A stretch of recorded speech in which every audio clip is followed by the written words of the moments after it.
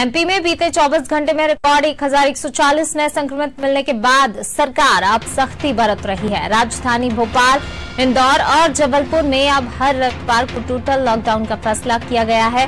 तीनों शहरों में अगले आदेश तक हर वीकेंड पर शनिवार रात 10 बजे से सोमवार सुबह 6 बजे तक 32 घंटे का टोटल लॉकडाउन रहेगा। लॉकडाउन को लेकर गृह विभाग ने निर्देश जारी कर दिए हैं। इन तीनों शहरों में 31 मार्च तक स्कूल, कॉलेज भी बंद रहेंगे।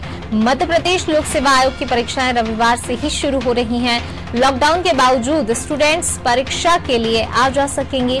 दूसरी परीक्षाओं के लिए भी छूट दी गई है। कोरोना की वजह से पिछले 22 मार्च से लॉकडाउन शुरू हुआ था।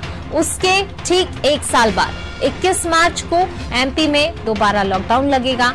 राज्य में कोरोना को लेकर बिगड़ते हालात के मद्देनजर सीएम शिवराज सिंह चौहान ने समीक्षा बैठक की, जिसके बाद भोपाल, इंदौर और जबलपुर में हर रविवार को टोटल लॉकडाउन लगाने का फैसला लिया गया है।